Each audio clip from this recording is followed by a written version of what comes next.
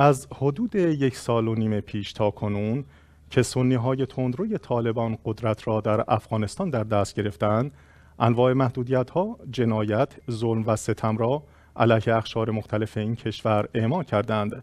خبرنگاران و روزنامه نگاران افغانستان که در یکی از خطرناکترین کشورهای جهان هستند نیز از این رفتار و کردار طالبان مستثنا نبوده و در این مدت همه انواع ظلم و ستم را دیده و چشیدند و انواع شکنجه را تحمل کردند و به رغم سانسور شدید خبری اما به فعالیت خود ادامه دادند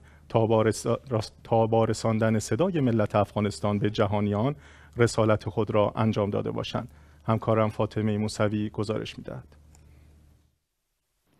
سازمان خبرنگاران بدون مرز در تازه ترین گزارش خود گفته که افغانستان یکی از خطرناکترین کشورهای جهان برای خبرنگاران است. در گزارش خبرنگاران بدون مرز آورده است که از سال 2000 میلادی تا کنون 1787 خبرنگار در سراسر سر جهان در ارتباط با کار خبرنگاری کشته شدند. در گزارش این سازمان بین المللی آمده که عراق و سوریه بیشترین رقم یعنی یک سوم خبرنگاران قربانی را به خود اختصاص دادند و در 20 سال گذشته 578 خبرنگار تنها در این دو کشور کشته شدند. بر اساس گزارش خبرنگاران بدون مرز، افغانستان، یمن، فلسطین و سومالی به ترتیب در جایگاه های دوم و سوم کشورهای خطرناک برای خبرنگاران فهرست شدند. سازمان خبرنگاران بدون مرز در گزارش تازه خود وضعیت خبرنگاران در 20 سال اخیر را بررسی کرده اما مطمئنا اگر در یک و نیم سال اخیر را بررسی می کرد افغانستان به دلیل سلطه طالبان در صدر این فهرست قرار می گرفت. در 20 سال گذشته نیز این گروه عامل اصلی اکثر ها علیه خبرنگاران افغانستان بودند و در هر گزارشی که از سوی های بین المللی منتشر می‌شد بیشترین میزان خشونت علیه خبرنگاران به این گروه نسبت داده می‌شد.